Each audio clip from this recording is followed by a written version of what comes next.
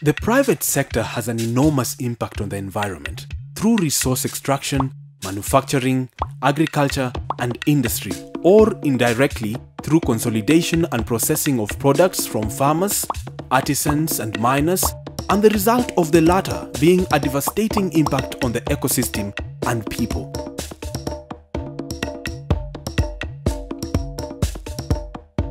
In July 2017, Wetlands International undertook training of its staff on how to proactively engage the private sector actors to become stewards of the environment in which they operate and to encourage the business community to look beyond their own direct impacts and support their neighboring communities for healthy, sustainable landscapes. During its dry spells, Laikipia County has become a hotbed for land strife between pastoralists against large-scale ranchers and peasant farmers in competition for water and pasture. The peasant farmers believe that the scarcity of water is due to commercial agriculture drawing excessive volumes of water from the rivers and streams, leaving very little for them.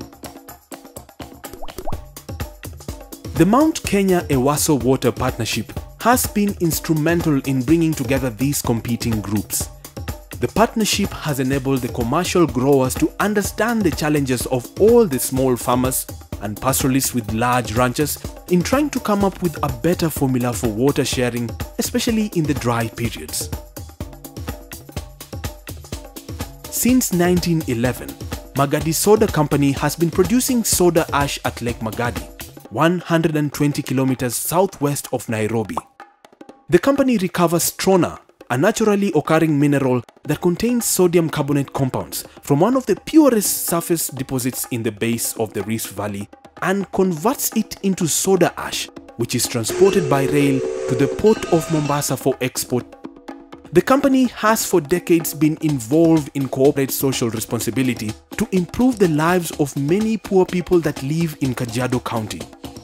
As a result of land degradation and poor agricultural practices by the community, there has been a rise in increased flash floods and soil erosion in the upper catchments of the area surrounding Lake Magadi, home of a variety of wildlife that are found in Shompole conservancies.